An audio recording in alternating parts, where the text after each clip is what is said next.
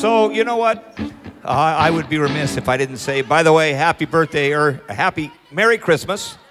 I wanted to mention we missed, uh, and we won't next year, we missed December 5th, uh, which was the Phoenix Theater's 118th birthday.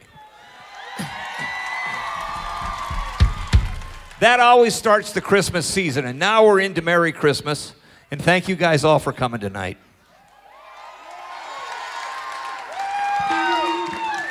Hi, everybody. Hello. Uh, we are Eject Button. That's Alex. It's Jack. Uh, just a casual Merry Christmas. We are your last band tonight. We just have a couple songs for you guys, and we're gonna get started. Ooh. Alex, it's on you.